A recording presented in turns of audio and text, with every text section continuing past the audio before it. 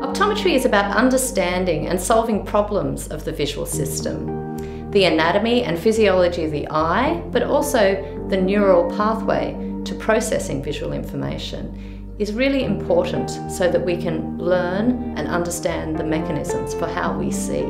Our students study how to measure the vision system, what can go wrong in ocular disease, and how to devise solutions to these problems. This can include visual aids such as spectacles or contact lenses, or low vision aids, and also ocular therapeutics.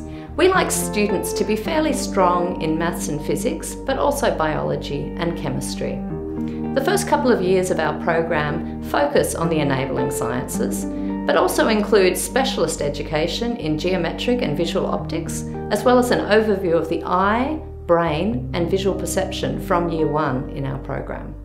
Our main program for those who want to enter the optometry profession is a five-year program consisting of the three-year Bachelor of Vision Science followed by a two-year Masters of Clinical Optometry. Students may choose to enrol in our Bachelor of Vision Science and apply for entry into the Masters of Clinical Optometry upon completion of that degree.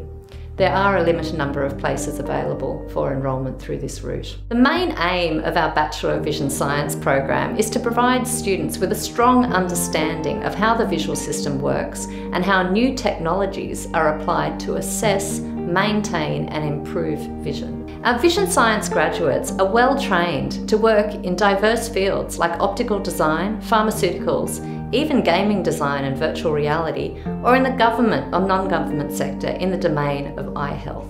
Our graduating optometrists enter the workforce with many diverse and rewarding employment opportunities. They have the necessary communication skills and the technical knowledge to really excel in their chosen profession.